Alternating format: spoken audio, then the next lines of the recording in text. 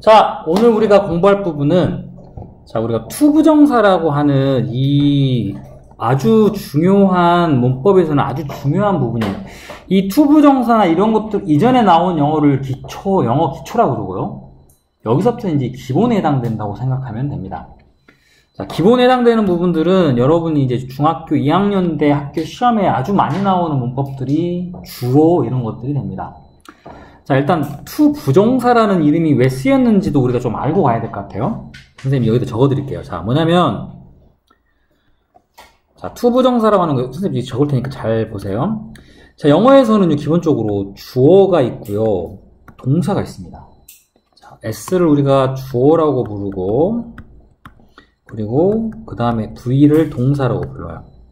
그리고 이제 이거 이후에 쓸 수 있는 게 영어에는 되게 많아요. 들어갈 수 있는 게. 우리가 하나는 확실한 게 또 동사를 두 개를 쓸 수 있느냐? 또 다른 동사를 또 쓸 수는 없어요. 기본적으로.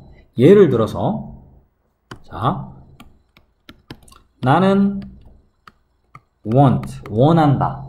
자 그러면 나라는 사람을 주어라 그러고 원한다라는 행동을 동사라 부릅니다. 아시겠죠? 그런데 예를 들면 가다라는 go와 거기에 가다라는 go 대열을 썼습니다.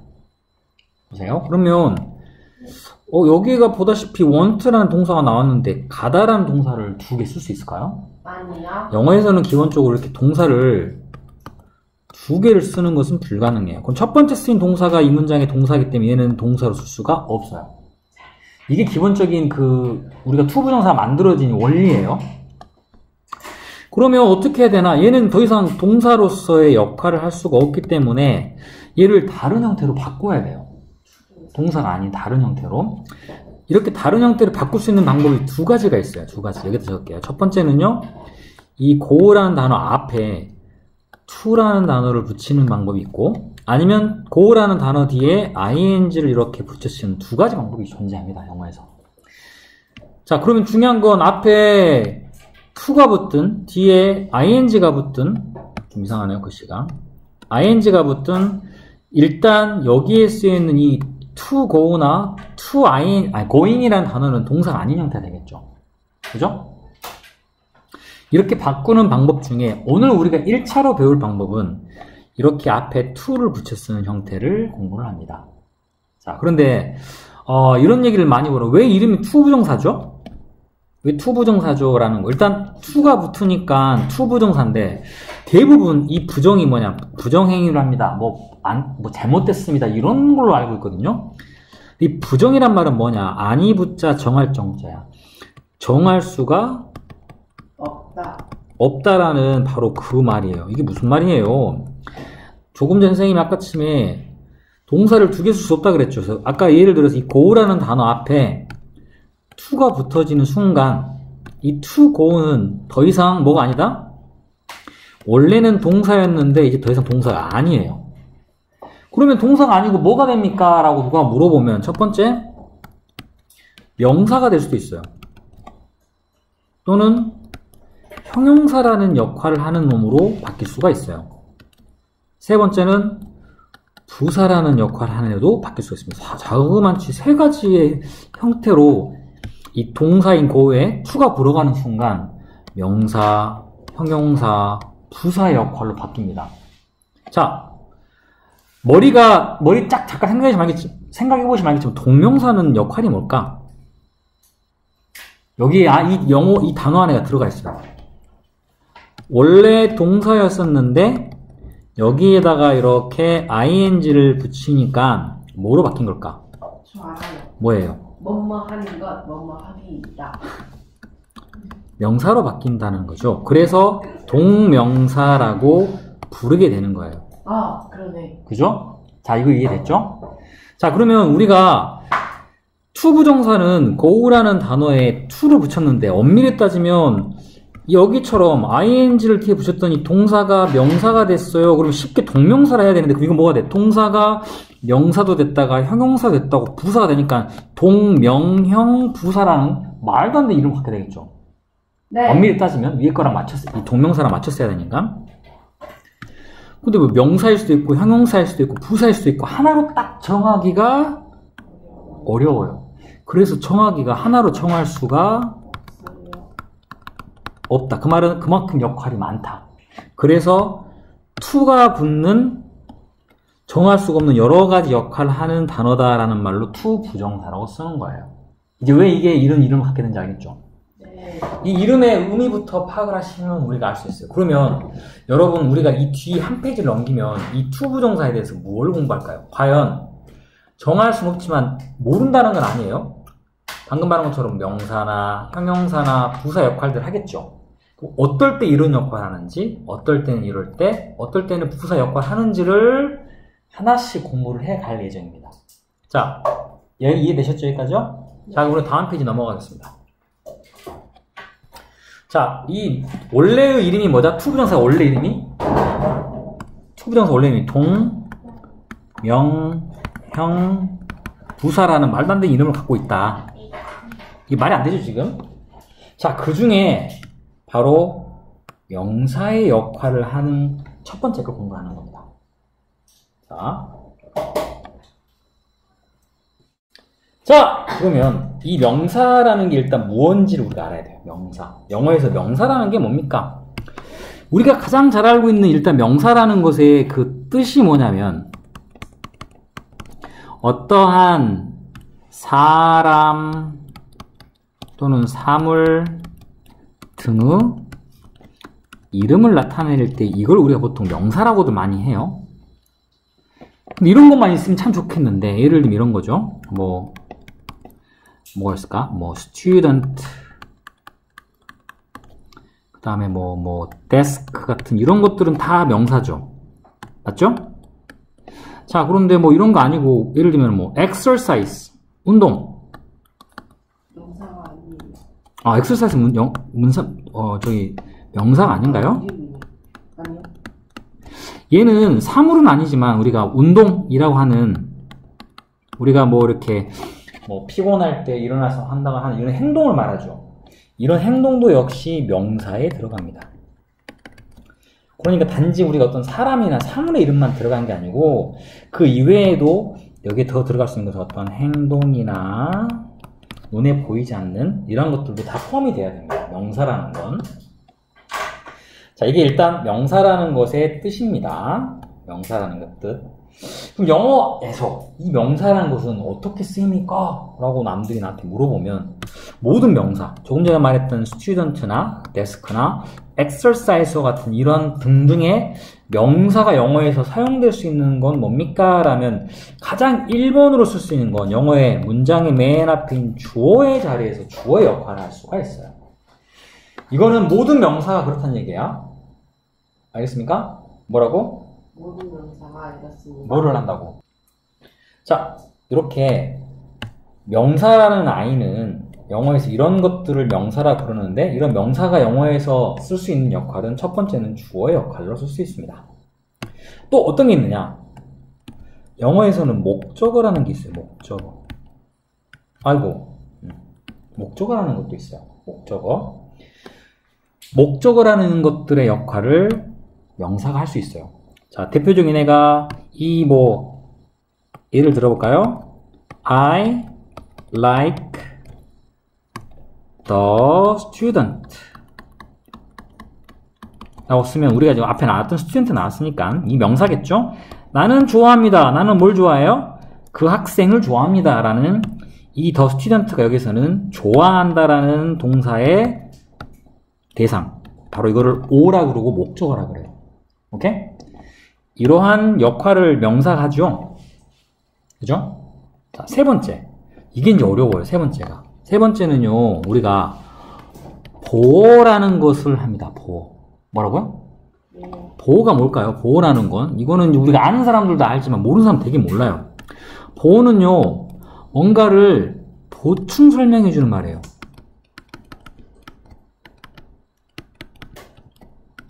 자 보충 설명해 준다는 거 여기다 적을게요. 자, 자 다음 문장 봅시다.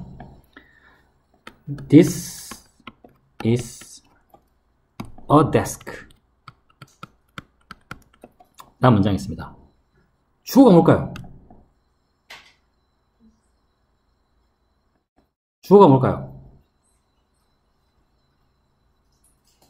this가 주어죠.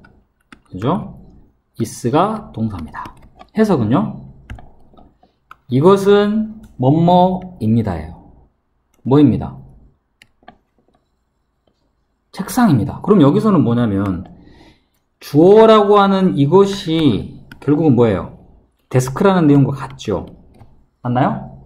그러면 이럴 때 이 데스크는 주어를 주어가 무엇인지를 보충 설명한다는 말로 써요. 그래서 이걸 우리가 다른 말로 주격 보어라고 합니다.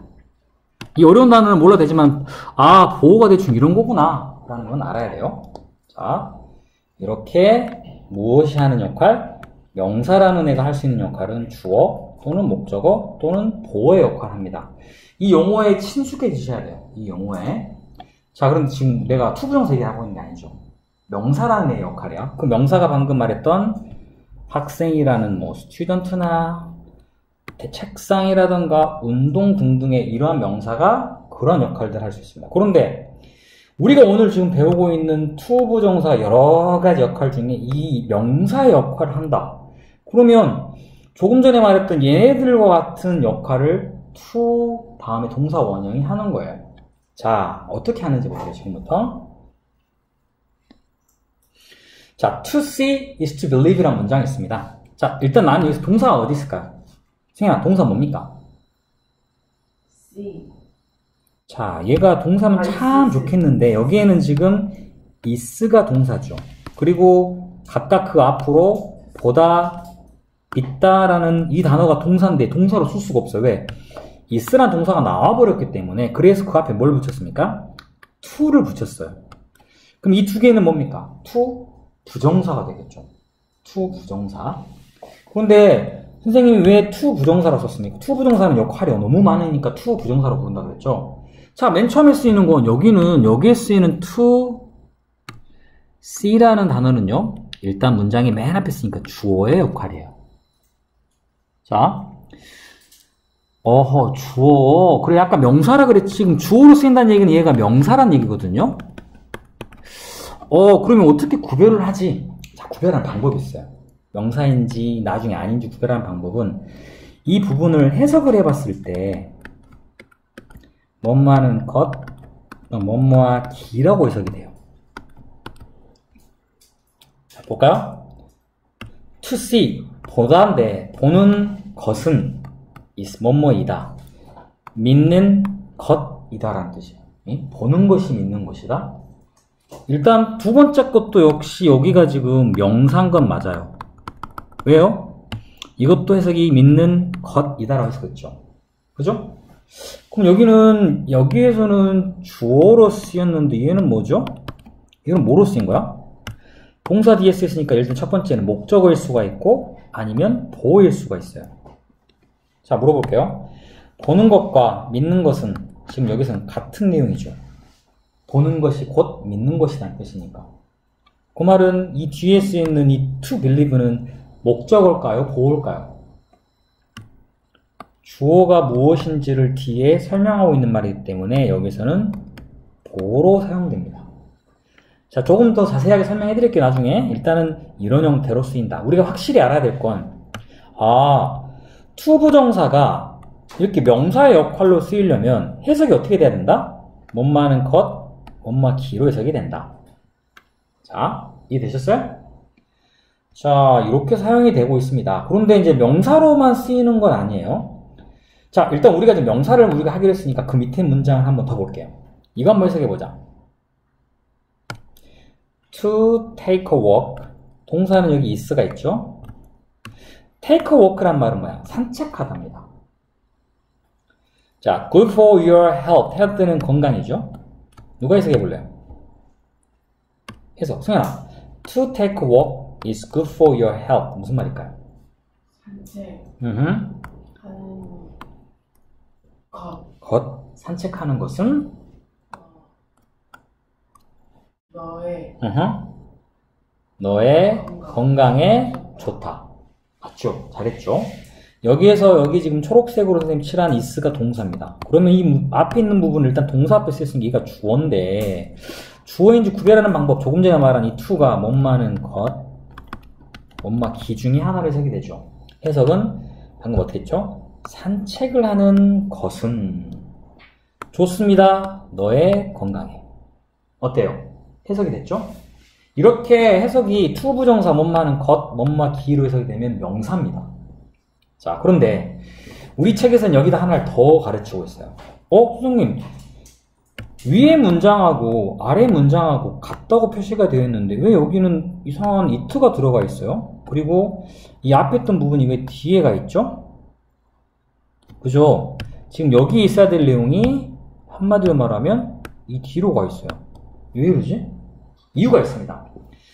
이 is를 기준으로 주어가 조금 길어요. she나 he처럼 간단하면 참 좋겠는데 굉장히 길어요. 그래서 앞에가 영어에서는 주어 같은 걸 되게 싫어해요. 왜? 해석이 잘 안 되는 경우가 많기 때문에. 그래서 이런 경우는 주어가 너무 긴 경우는요. 우리가 앞에 주어 자리에요. 그냥 it라고 하는 단어를 대신 씁니다. 그리고 이걸 뭐라 부르냐? 가짜 주어라는 말로 가 주어 it라고 적습니다. 영어에서. 그럼 우리가 가짜가 있으면 뭐가 있어야겠어? 진짜가 있어야겠죠. 조금 전에 원래 이 자리에 쓴 to take a walk까지가 진짜 주어입니다 말로 영어로 그걸 진주어라고 씁니다. 그래서 언제 가주어를 쓰는지 알겠죠. 가짜 주어를 쓰는 경우는 주어가 너무 길어. 물론 여기는 되게 짧는데 자 다음 문장 봐보세요. 다음 문장 To swim in the sea can be dangerous입니다. 동사는요 can be 뭐뭐일 수 있답니다. 주어가 바다에서 수영한다라는 것은 이라고 해석되죠. 바다에서 수영한다는 것은 위험할 수 있다. 주어가 누가 보나마나 이 문장에서 제일 길죠. 긴거 어쩐다? 싫어한다. 그럼 어떻게 한다? 그 자리에 가짜 주어인 가주어를 놓고 그러면 진짜인 진주어는 어떻게? 그냥 맨 뒤로 보냅니다. 이렇게 만들어집니다. 자, 그럼 여기에서 지금 쓰이는 to take a walk나 to swim 전부 문장의 주어의 역할을 하고 있는 경우예요. 그죠? 그 다음 동사 뒤에 목적어. 자, 다음 문장 보세요. 자, 이제 우리가 아니까 좀 쉽게 할게요. Take a break. 영어에서 take a break란 말은 휴식을 취하답니다. 자, 해석! 나는 뭐 한다? 나는 원한다. 휴식을 취하는 것을 원한다. 라고 해석이 되겠죠? 아니면 나는 휴식 취하기를 원한다. 뭐뭐 귀로도 해석되겠습니다. 그런데 우리 학생들이 예, 선생님 나는 휴식 취하고 싶어요. 나는 원한다 휴식 취하는 것을 안 하고 나는 휴식 취하고 싶어요. 선생님 아무리 봐도 걷기 없는데요? 이렇게 얘기해버리면 더 할 말이 없어요. 직역입니다.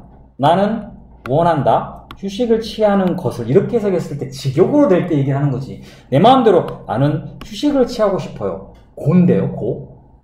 그럼 안 되지, 해석이. 직역은 이렇게 하는 거예요. 자, for a few days는 며칠 동안. 자, 이 문장의 주어는 뭡니까? 바로 I죠. 주어. 나는 뭐 한다? 동사 원한다. 자, 물어보겠습니다. 나하고 휴식을 취하는 거하고 같은 대상인가요?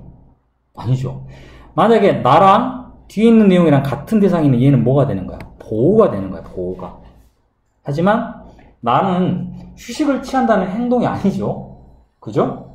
그렇기 때문에 여기는 뭐가 됩니까? 바로 목적어가 되는 겁니다. 동사 뒤에. 명사가 목적어가 된다 그랬죠? 왜? 못마는 것, 못마 기로 해석되는 투부 정사는 명사 역할이기 때문에 이때는 목적어 역할입니다. 자, 이렇게. 자, 두 번째 문장도 잠깐 볼게요. 똑같이 한번 똑같은 거니까. 자, 물어볼게요. 하연아, 제인은요, 소설책을 읽는 것을 좋아합니다. 그럼 제인하고 소설책을 읽는 거와 같은 내용인가요? 제인은 소설책을 읽는다는 행동입니까? 어, 아니죠. 제인은 그런 경우는 당연히 제인의 제인이 주어, 동사, 그리고 소설책에 읽는다는 행동은 제인의 목적어라고 얘기를 합니다. 이해되셨습니까? 여기까지? 자, 그런데 그는 보어를 하나 보고 가야겠지. 보어를. 자, 마지막 하나 봅니다. 세 번째 거. 자, is가 일단 동사입니다. 이거 누가 해석해 볼래요? 아이고, 왜 이래고. 주어는 my plan입니다. 그 다음에 to lose, 아이고, 이게 지금 또 to lose 5 pounds. lose는 잃다 또는 빼다 합니다. 그러면 해석은 어떻게 될까? 나의 계획은 이번 달에 5파운드를 빼는 컷입니다. 라고 해석이 됐죠. 그 다음 두 번째. 계획과 살을 5파운드를 뺀다는 건 같은 내용인가요? 달라요? 나의 계획이 살을 빼는 거 아닌가요? 맞네요. 그러니까 나의 계획과 살을 뺀다는 행동은 같은 걸 의미하죠. 자, 요렇게 같을 때는 얘를 우리 뭐라고 부른다? O라고 부릅니다.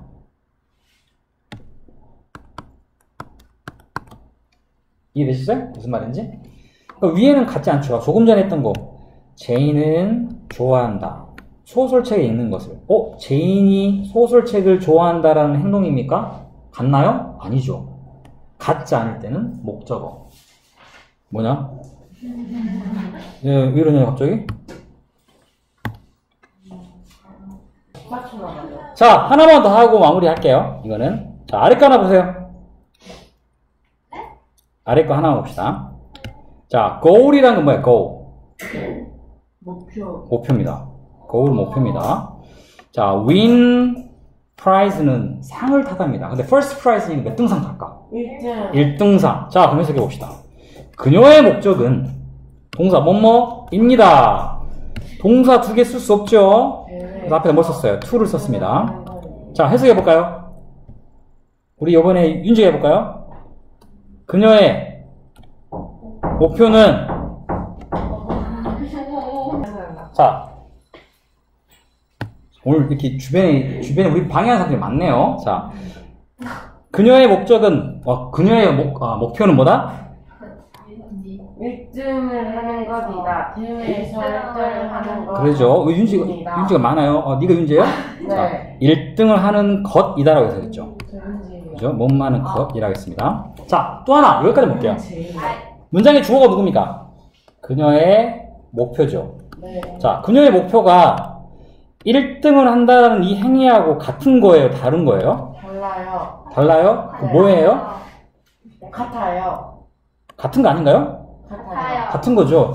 이렇게 같을 때는, 자, 이 to win first prize라는 단어가 그녀의 목표가 정확히 무엇인지를 보충 설명해 준다 그래요. 그래서 이걸 뭐라 부른다? 바로 보의 역할이라고 부른다. 네. 중요한 건, 자, 이것만 합시다. 예. 주어로 쓰든, 목적으로 쓰든, 보어로 쓰든, 투부 정사 이게 구분하려면 해석이 어떻게 된다? 뭔마는 것, 네. 기라고 해석이 된다.